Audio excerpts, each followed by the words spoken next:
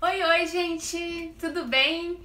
Sejam muito bem-vindos a um vídeo ao vivo que a gente está fazendo aqui no nosso canal no YouTube. Eu sou a Franciele Nogueira, para quem está caindo de paraquedas nesse ao vivo. E como prometido, falei para vocês, já anunciei nas redes sociais durante essa semana, a gente está aqui para fazer uma receita de pão integral muito gostosa. Então, enquanto vocês vão chegando aí, eu sei que o pessoal está recebendo as notificações, vocês estão entrando, mas a gente vai fazer uma receita de pão integral. Bom, esse pão integral é, na minha opinião, o mais gostoso.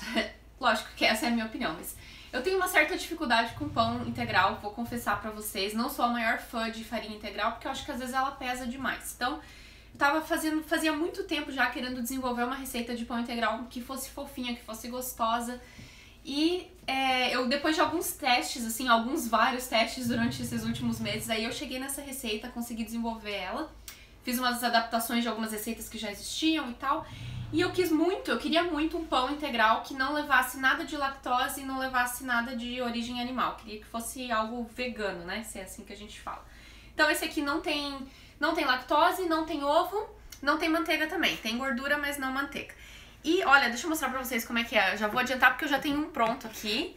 Vão mandando os beijos de vocês, os coraçõezinhos, os comentários. Deixem os comentários aí, ó. Esse aqui é o pão. Eu decorei ele por cima com...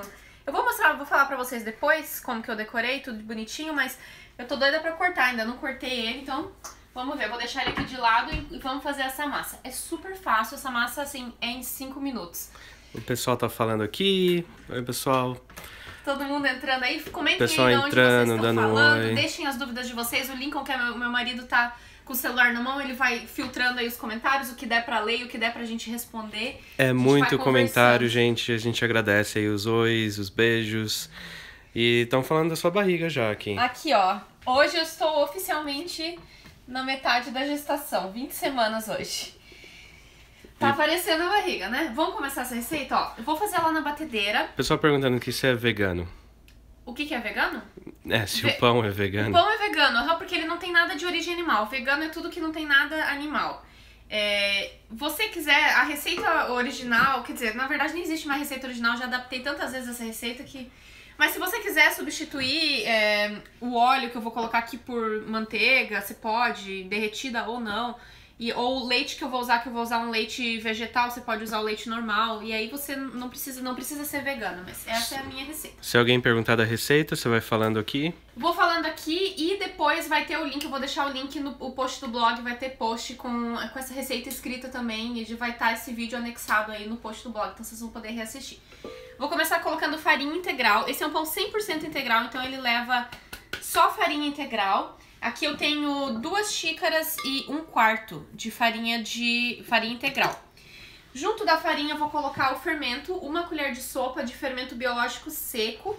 Tem que ser o fermento seco, aquele de pão mesmo, porque se você usar aquele químico de bolo, não, não dá certo, não funciona. Aí para alimentar esse fermento, o fermento funciona muito bem com açúcar, ele, ele desenvolve melhor. Então a gente vai colocar 3 colheres de sopa de açúcar. Tô usando açúcar cristal aqui, você pode usar o que você tiver em casa, pode até ser o mascavo, ele vai dar um sabor assim bem legal também pra receita. Então vai de novo ali. Farinha. Farinha, açúcar, fermento.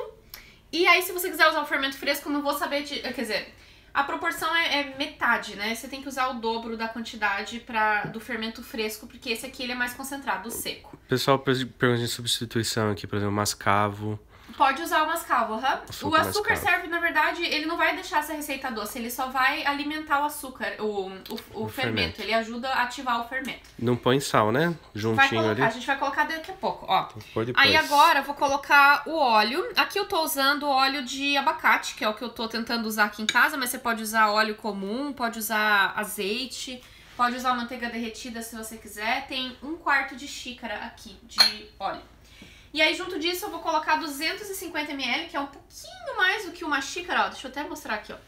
Dá uma xícara e um titiquinho só a mais, assim, que é 250 ml de leite que esteja morno. O meu eu aqueci no micro-ondas, deixei um minuto no micro-ondas. E eu aqueci ele, mas você pode. O meu é leite de amêndoas, mas você pode usar o leite comum, pode usar qualquer leite vegetal, ou então pode até usar água também, se você não quiser fazer O pessoal perguntando até do óleo de coco, Pode ser óleo de coco também. leite de coco. Pode, pode ser. O leite de coco ele geralmente deixa um pouquinho mais pesado as receitas, mas pode sim, pode ser também. Qualquer líquido que você que você quiser. Aí eu vou fazer na batedeira. Se você não quiser fazer na batedeira, faz na mão, mas aí usa uma colher de pau, porque essa é uma massa que ela fica meio mole, então não é aquela massa que você vai ficar sovando, sabe? Você vai só misturar ela com a colher. Então, como ela vai grudar toda na mão, eu tô usando a batedeira e aí você pode usar é, uma colher de pau dentro de uma vasilha normal e aí misturando. Aí agora essa massa precisa ser sovada. Eu vou colocar o sal também, mas primeiro eu vou começar a misturar para ter certeza de que o sal não entre em contato direto com o fermento, porque o sal ele, ele bloqueia o- a ação do fermento, ele mata o fermento. Então a gente vai me dar uma misturadinha aqui primeiro, Ó, rapidinho, a Fran já foi já o respondendo sal. a maioria das perguntas aqui, né? Mas tem uma curiosidade aqui em questão do horário. Aqui são 6 e 7 agora, uma hora de diferença só do Brasil. Ó, misturei aqui, ó, rapidinho, aí agora eu já vou colocar o sal e a gente termina de misturar nessa receita. Ó, o sal, vou colocar uma quantidade a olho aqui, mas diga, diria que assim, uma, uma meia colher de chá. Por que o, s- o sal agora? É, eu coloco depois, tava explicando isso agora, a gente coloca depois porque pra ele não entrar em contato direto com o fermento, porque senão ele não ativa o fermento. Aí agora a gente tem que deixar isso aqui sovar por 5 minutos. Ele vai ficar, ó, você vai ver que ele é uma massa mole. Eu vou pegar uma colher, uma colher aqui da espátula, só pra tirar aqui, ó, a farinha, pra farinha se incorporar. Mas é uma, é uma massa mole. Se tiver mole demais, demais, demais, você pode pôr um pouquinho de farinha a mais, dependendo da sua farinha, né? Cada farinha absorve os líquidos de uma forma diferente. Aí você pode colocar um pouquinho mais, mas geralmente não precisa. Vamos ver como é que vai estar essa aqui hoje. Hoje de manhã eu fiz a receita e nem precisei adicionar mais farinha. Mas essa aqui tá meio mole, quem sabe eu coloco um pouquinho ainda. Talvez Só um perguntando- pouquinho. Eu vou mostrar exatamente o ponto da, da massa pra vocês. É como se fosse uma massa de bolo bem pesada. O pessoal perguntando se aquelas eh, fazedoras de pão. Se, Se funciona, funciona. eu não sei. Pra falar a verdade, eu nunca usei a máquina de fazer pão. Então eu não vou saber dizer pra vocês se funciona, sabe, certinho. Mas eu acho que eu acho que sim. Acho que funciona sim. Porque é um pão, um pão normal esse aqui. Vou colocar uma colher de sopa a mais de farinha, só que eu tô achando que tá muito mole. E aí você vai. Em qualquer massa de pão, qualquer massa de pão é assim. Você tem que. Tem a quantidade de farinha na receita, mas você tem que, tem que olhar a massa.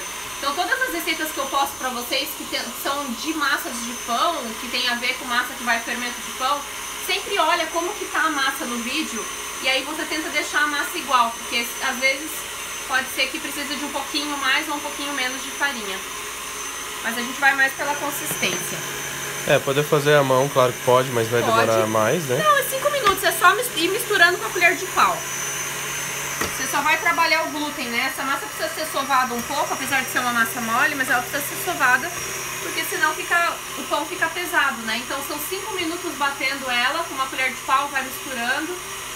E, e aí depois, ou então 5 minutos na batedeira também, que daí dá mais, é mais prático. Então uma massa mole dá, quem sabe, eu não testei, mas quem sabe até na batedeira comum dê. Talvez não precise ser nessa planetária, mas não tenho certeza porque eu não testei. Tem alguma dúvida aí de alguém? Se vocês tiverem dúvidas de outras receitas, podem deixar aqui também que a gente vai tentar responder. A Fran dizendo aqui, talvez até por experiência própria, falando que a batedeira comum pode não ter força e queimar. Ah, sim, mas é, é para uma massa de pão normal, sim. Mas como essa é uma massa um pouquinho mais mole, talvez dê. Ela nem vai ficar batendo, Porque- né? Igual. É, porque é uma massa mais mole, tá vendo como ela é mole? Ó, não sei o que aconteceu aqui que eu coloquei a mais aqui, que tá precisando de mais farinha. Hoje de manhã eu fiz essa mesma receita, mas tá vendo, ó? Depende até do clima. Vou colocar, ó, essa é a terceira colher de sopa a mais que eu tô colocando aqui. Eu acho que com essa, eu acho que já deu com essa aqui. Ó, Quando é, vai ao ar o porque- bolo de morango chantilly? Bolo de morango vai semana que vem. É, semana que vem ele vai ao ar, quarta-feira que vem. Ó, eu fiz o dinner rolls e ficaram maravilhosos. Não é uma delícia essa receita? Melhor pão que já fiz. Ele é super fofinho, não é? Ele é muito levinho. Esse, esse dinner rolls é maravilhoso. Tem muita gente experimentando essa receita e fazendo e gostando. E ó, olha aqui, ó, mostra aqui a massa, ó. Exatamente assim que a gente quer, tá vendo? que Vou até pausar aqui pra mostrar pra vocês o ponto. Tá vendo que ela é uma massa mole? É uma massa mole, mas ela não é tão molenga assim, ó. Você consegue pegar ela com a colher de pau, ó. Pode colocar castanhas, de... outras coisas, pode, outros grãos. Pode, você pode pôr semente de girassol, pode pôr linhaça, você pode colocar o que você quiser aí. Qual que é o melhor momento? No final, pra bater Depois, aqui? é, quando tiver no final já, pra, como eu tô fazendo na batedeira, pra não triturar demais o, a castanha ou o que você quiser que você estiver colocando, deixa pra colocar um pouquinho mais quando tiver quase pronta a massa já. Ó, aí você vai sovar isso aqui. Depois de sovar essa massa, você vai deixar ela, você vai cobrir isso com plástico filme nesse mesmo bolo, não precisa transferir para outro, não precisa passar óleo em cima nem nada. Você só vai cobrir isso com pano ou com plástico filme e aí deixar essa massa crescer por uma hora. Não precisa nem é, ser duas horas, que é o normal, mas uma hora vai ser suficiente para ela crescer bastante. Se você quiser deixar ela crescer um pouquinho mais que uma hora, duas horas também, não tem problema. Mas ela vai crescer, ela vai crescer rápido. E do, dobrar, duplicar essa receita, Hã? se você quiser duplicar essa receita, você pode fazer mais pães, mas eu acho que é perfeita essa quantidade, dá um pão certinho, menos aqui em casa somos só nós dois, então um pão é suficiente pra gente. Pronto, depois que sovou essa massa, agora já deu uns 5 minutos, né, que a gente sovou isso aqui? Já deu. Por aí, né? Então, recomeçou? É, depois que você sovar essa massa aqui, aí a gente é, a gente coloca agora ela para descansar. Vou só, ó, só mostra o ponto aqui dela, ó. Ela fica bem assim, meio mole, é assim mesmo. Por isso que é bom você não colocar a mão na massa, porque dessa vez não. Porque é uma massa muito mole, ela vai grudar toda. E esse é o segredo dessa, desse pão, porque se você colocar farinha demais, aí vai ficar um pão pesado. Aí agora é só a gente cobrir isso com pano e colocar num lugar bem quentinho da sua casa. Já ouviram essa frase muito? Coloca no lugar bem quentinho da sua casa. Aqui em casa eu coloco dentro do micro-ondas, com ele desligado, obviamente, porque é o lugar que ele fica, que cresce mais rápido a massa. Cresce melhor do que no forno, então é aqui que eu vou colocar. Deixar essa massa descansar, vou olhar o tempo aqui, 6 e 15, então quando for 7 e 15 eu volto a mexer nessa massa. Quando der 7 e 15, no meu horário aqui, né, quando der depois de uma hora, Aí você vai transferir essa massa para uma forma de pão, só espalhar ela na forma de pão. Tem a sua forma untada, é, ou você pode pôr, untar com, com óleo, ou com, mar, com margarina, com manteiga, o que quer que seja. Ou então você pode colocar o papel manteiga, e que é como eu fiz para você não precisar usar gordura adicional. E aí você vai colocar essa massa na, na forma de pão e deixar ela, ela crescer de novo por mais uma hora. Então, no total, essa massa cresce duas vezes, cresce duas horas. Então, uma hora agora, depois põe na forma e deixa ela crescer mais uma hora. E depois disso é só colocar isso para assar em forno pré-aquecido a 180 graus. Vai ficar lá mais ou menos uns 25 minutos por aí. Vai depender do seu forno. Se você quiser decorar a sua, o seu pão como eu fiz aqui... Não dá muito pão, né? Ele rende um pão. É um pão desse tamanho normal de pão, né? Da, da forma de pão. Aí se você quiser essa decoraçãozinha por cima, antes de, antes de colocar no forno, é só você pincelar ou um ovo batido ou um pouquinho de azeite, que é como eu fiz aqui, eu não queria usar nada de ovo, então eu pincelei um pouquinho de azeite bem delicadamente na massa antes de pôr ela pra assar. E aí eu salpiquei aqui, ó, vocês podem ver, aqui tem aveia, tem gergelim preto, gergelim é, normal e semente de de girassol. Foi o que eu coloquei por cima, só espalhei por cima e coloquei pra assar. Descansa uma hora lá então. E descansa uma hora agora, depois você transfere pra forma de pão, deixa ele crescer mais uma hora. Ah, mais uma assar. hora, então total, total duas. duas horas ele cresce. Mas olha que fácil, cinco minutos você vai sovar essa massa, não precisa nem ficar lá botando força, é só ir misturando com a colher de pau ou na batedeira. E é super prática essa receita, eu, eu achei assim incrível. E agora eu vou mostrar pra vocês como é que fica, ó, já estamos assim prontos. Como vocês não vão querer ficar duas horas esperando esse pão para ficar pronto, eu já fiz um, né? Já deixei adiantado para poder mostrar para vocês. E vamos cortar, ver como é que tá? Vamos lá, muitas perguntas aqui. Perguntas, então pode falar alguma aí, enquanto, enquanto eu corto o pão. A gente vai respondendo. Isso aí. Ó, olha que fofinho. Olha como ele corta fo como ele corta bem. Ó, no lugar do óleo pode usar água. Pode. No lugar do óleo, não, porque o óleo tem outra função, ele vai amaciar a massa, né? Então precisa de um pouquinho de óleo. Olha como é macio esse pão, ó. Pode triturar linhaça ou semente de girassol, Pode né? pôr na massa é, Não, não, triturado em vez do óleo. Pode Acho que ser dá também, que também. daí ele substitui, né, o óleo. Olha só esse pão. Como ele... Eita, caiu tudo aqui o grão. Ó, mas ele é fofinho, tá vendo? Ele é muito fofinho. Tá vendo esses buraquinhos aqui? Isso aqui são bolhas de ar, que é exatamente isso que a gente quer. Isso ajuda o pão a ficar mais leve. É, ele é um pão muito fofinho e 100% integral. Deixa eu até pegar Segura um só numa ponta pro pessoal ver. Tenta dobrar. Dobrar, como assim? Dobrar o Dobrar pão. o pão? Volta, volta. Assim? Eu não, não entendi como é que você Não, assim faça. mesmo, pra mostrar que não é, não Ó. esfarela, né? Ele não esfarela, ele é um pão macio. Fala aí o que, que você achou, o que, que você falou pra mim quando você provou esse bolo. Quando eu cheguei nessa receita, eu fiz esse- essa semana. Aí o Lincoln experimentou, fala aí o que, que, você, que, que você disse pra mim. Nem vou lembrar. Ah, foi, foi o melhor pão que eu já comi. assim? Foi o melhor pão integral que eu já comi. Então, gente, ó, pra quem tá aí de dieta, quem tá cuidando da saúde, querendo. Deixa eu pegar uma, alguma coisa pra passar nesse pão, né? O pessoal perguntando das quantidades vai estar aqui, né, daqui a pouco, As né? quantidades vão estar todas aí. Eu, vou- eu vou colocar no link do blog. Eu vou deixar o link quando terminar esse ao vivo, eu vou fazer o post no blog e aí vou colocar o link pra vocês. Muita gente pedindo receita.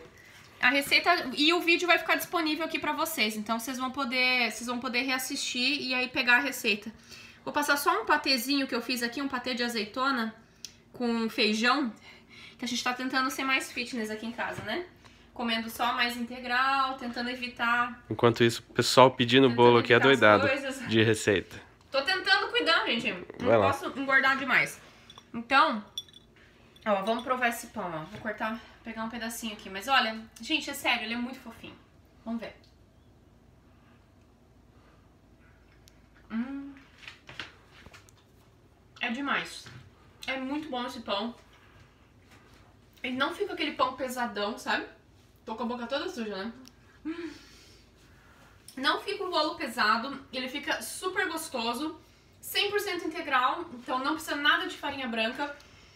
Você pode congelar esse pão também se você quiser depois de assado. Congela ele, embrulha ele bem para ele não entrar nada de água do freezer. E aí você pode manter ele ali por um mês tranquilamente no seu freezer. E aí você pode ter pão quando você quiser. Se quiser já congelar ele fatiadinho, você pode ter as fatias certinhas para sua semana. E é um pão muito gostoso que eu espero muito que vocês gostem.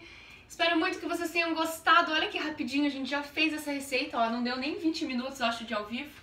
Espero que vocês tenham gostado e eu queria agradecer assim de coração a todos vocês que participaram desse vídeo e quem não participou e está assistindo esse vídeo depois também, obrigada por estar aqui comigo. E tem alguma outra pergunta, alguma coisa antes da gente, da gente se despedir? O pessoal pode fazer as perguntas de novo lá pra aparecer, né? Pode deixar nos comentários que a gente vai tentar responder depois também, se vocês tiverem algumas dúvidas aí. Tá bom? Espero que vocês tenham gostado, foi um prazer estar aqui com vocês. E se você gostou desse vídeo ao vivo, se você quer ver mais vídeos ao vivo, não esquece de deixar, o seu joinha nesse vídeo. E deixa os seus comentários, deixa o que você achou aqui. E a gente se vê nos próximos vídeos. Sexta-feira tem vídeo novo, tem vlog. Tá bom? Beijos!